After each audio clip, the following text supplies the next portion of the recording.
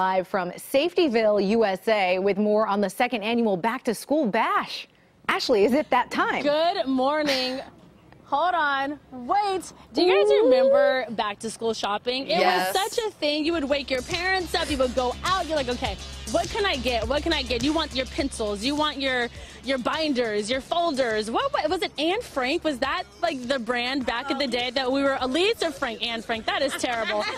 uh, thank you so much, Anne Frank. That is quite the correction. I appreciate it. So this is what's happening. Ticket to Dream and Bear Paw join forces to throw a back to school bash for nearly 140. You're almost at the 140 mark. Yeah. Um, foster kids and their families. Um, this is your second year doing this. Why is this event so important for the community?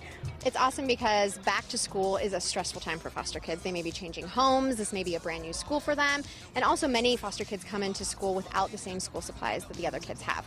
So not only does this give them the opportunity to go come in with awesome backpacks, they're awesome. They're JanSport, they're so cute. They also get Bear Paw boots, which is the, the, the go-to shoe, right? They get to do cotton candy and snow cones. There's bouncy houses, there's princesses and superheroes. It's, it's really about creating that excitement for that first day of school. I mean, it's so fantastic. This is a closed event, um, but what's so great is, like you just said, there's bouncy houses. They get uh, back to school gear. What is generally the reaction of the kids when they come out and they see everything that's happening?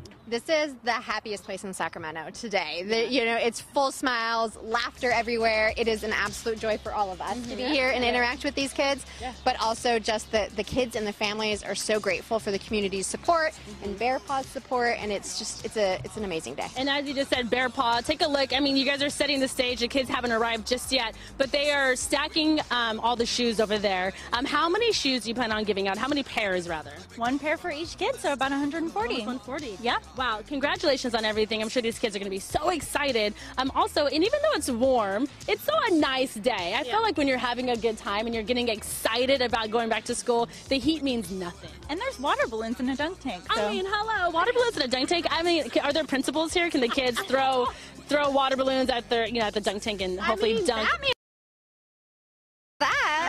All right. Uh, a feel good story here. Um, again, 100 and nearly rather 140 foster kids getting um, excited to get back, go back to school. All right, uh, Tina, I'm sorry, Canby and Macy, we'll go ahead and toss it back to you. Thanks, Ashley.